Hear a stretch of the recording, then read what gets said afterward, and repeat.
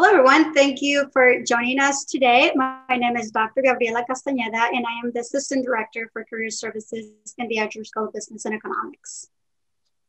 And I'm Sally Rubin. I'm an Associate Professor of Documentary Filmmaking and the Program Coordinator for the Broadcast Journalism and Documentary Film programs at Dodge College. So, we're talking today about how to celebrate uh, Women's History Month in a way that acknowledges intersectionality um, you know, to me, celebrating any identity um, in any month, Women's History Month being no different, um, cannot be separated from the need to acknowledge and talk about intersectionality. Um, I think we really kind of do a disservice when we don't um, address that almost all of us have multiple identities that are part of who we are.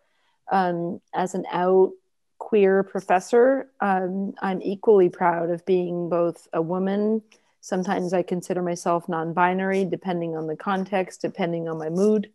Um, but yeah, my identities as a woman and also someone who's queer are completely um, unable to be divided.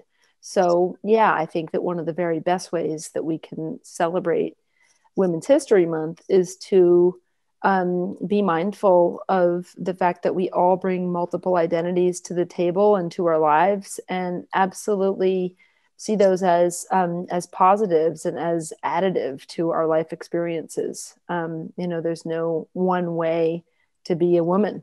It, it looks really different depending on people's backgrounds and their identities so i think the way we best celebrate that is to appreciate and acknowledge that um, and to ask people about themselves, to work hard to understand people's experiences, um, and to realize that, you know, this giant uh, kind of pot that we're all in together as Americans um, is just made all the more wonderful because of the diversity of our experiences.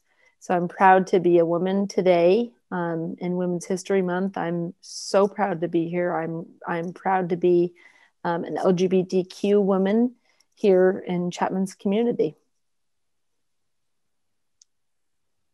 Thank you, Sally. And for me personally, how to celebrate Women's History Month right in a way that we can um, recognize the many identities that we have. Um, I have many of them. One being a Latina, being an immigrant. Uh, those are, you know, being a mother, uh, strong in my faith, being Catholic.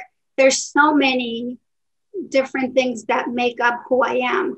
And I feel that, as you mentioned, Sally, it is, we're in this melting pot here, right? And there's no one way to be a woman. And that is for individuals to decide how they identify, how they feel. And, and depending on context, too, you mentioned earlier. And um, having, I think it's important to not just use this month of March to recognize uh, the contributions that women make to to our society, but I think it should be a 24, you know, uh, uh, 12 months, uh, 365 days a year. Uh, because we don't necessarily disappear after the month of March, and, our contributions continue uh, mm-hmm.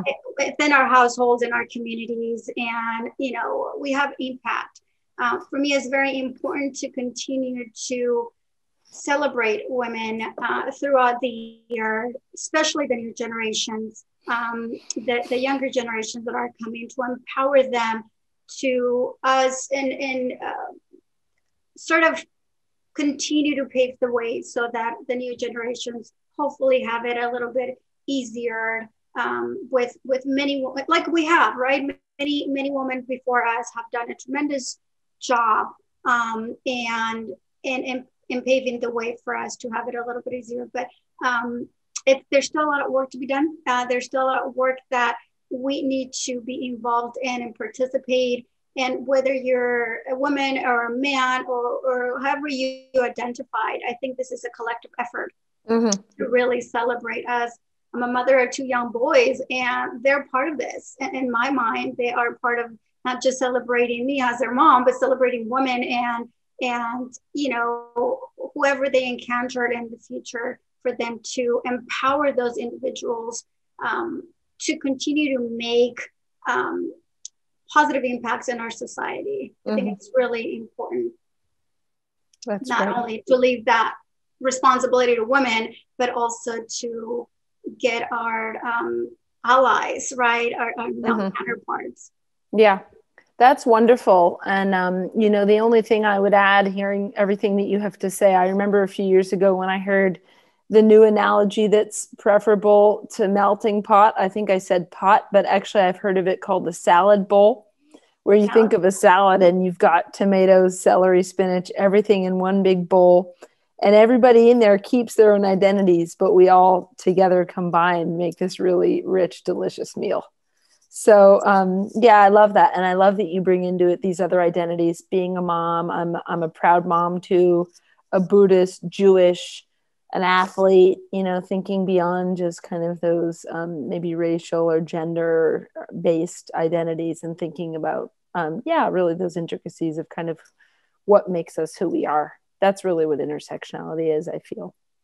And absolutely, I agree with the importance of including our allies in the celebration um, I think that's really key. It certainly is. And I think it's such a powerful, I mean, and, and maybe I'm a little biased because, uh, you know, uh, I am woman, but I think we hold so much power on, mm-hmm. on creating and um, fostering a better, better communities, right? Having great impact like I said, whether it's in a household or on our campuses or in our local communities or in a broader area, such as now we have our very first vice president of the United States, the impact mm-hmm. that she's having in, in other in other generations and across the world, really. You know, it's it's one of those epitome, right, of having such influence and and power around the world. Um, and you see this different wonderful woman behind me in my background that I thought it was appropriate to showcase this month, the contributions that they had and the mm-hmm. different mm-hmm. identities that they carried, right? Mm-hmm. And how they made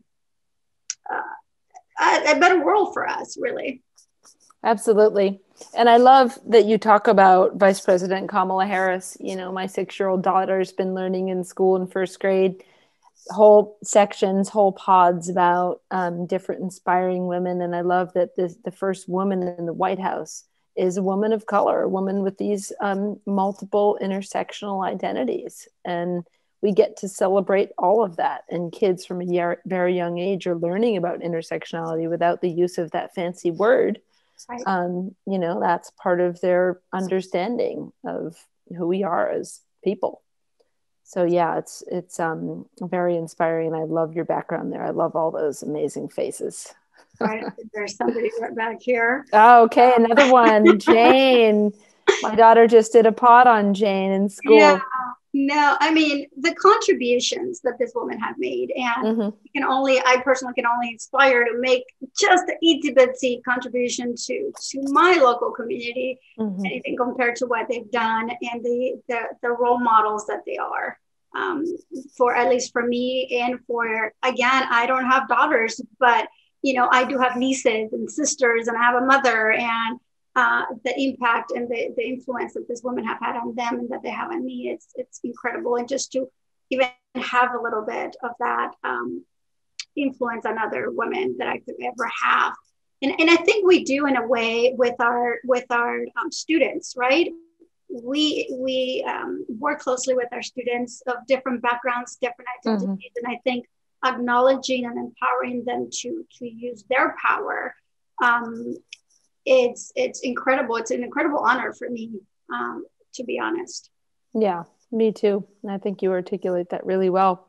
Thank you so much for having me. It's so fun to talk about um, you know and just celebrate this really wonderful topic. It is. It's been wonderful. Thank you for having uh, us. And again i think we should be celebrating 365 days a, a year. But that's just my mm-hmm. my opinion. Me too. Let's do it Let's do it.